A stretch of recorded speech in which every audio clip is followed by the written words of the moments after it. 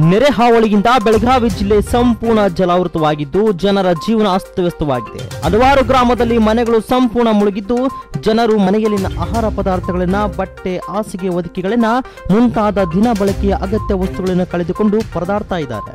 ಬೆಳಗಾವಿ ಜಿಲ್ಲೆಯ ವಡೇರಹಟ್ಟಿ ಗ್ರಾಮವು ಸಂಪೂರ್ಣ ಮಳೆ, ಬಿರುಗಾಳಿ ಪ್ರವಾಹದಿಂದ ಗ್ರಾಮವು ಜಲಾವೃತವಾಗಿ, ಹಲವಾರು ಮನೆಗಳು ಬಿದ್ದು ಹೋಗಿ, ಜನರು ನಿರ್ಗತಿಕರಾಗಿ ಶಾಲೆಗಳಲ್ಲಿನ ಗಂಜಿ ಕೇಂದ್ರದಲ್ಲಿ ವಾಸಿಸ್ತಾ ಇದ್ದಾರೆ. ಸರಿಯಾಗಿ ಆಹಾರ ಕುಡಿಯುವ ನೀರು ಇಲ್ಲದೆ ಸಮಸ್ಯೆಯಾಗಿದೆ ಎಂದು ತಿಳಿದು ತಕ್ಷಣ ಅಂತಾರಾಷ್ಟ್ರೀಯ ಹಿಂದೂ ಪರಿಷತ್ ಹಾಗೂ ರಾಷ್ಟ್ರೀಯ ಬಜರಂಗ್ ದಳದ ಶ್ರೀ ಪ್ರವೀಣ್ ವಾಲ್ಕೇರವರ ಮಾರ್ಗದರ್ಶನದಲ್ಲಿ ಸಂಘಟನಾ ಪ್ರಮುಖರಾದ ನಿತ್ಯಾನಂದ್ ಹಿರೇಮಠ್ ನೇತೃತ್ವದಲ್ಲಿ ನೆರೆ ಸಂತ್ರಸ್ತರಿಗೆ ಆಹಾರದ ಪ್ಯಾಕೆಟ್ಗಳನ್ನು ಕುಡಿಯುವ ನೀರು, ಬಟ್ಟೆ, ಹಾಸಿಗೆ ಹೊದಿಕೆಗಳನ್ನು ವಿತರಿಸಲಾಯಿತು.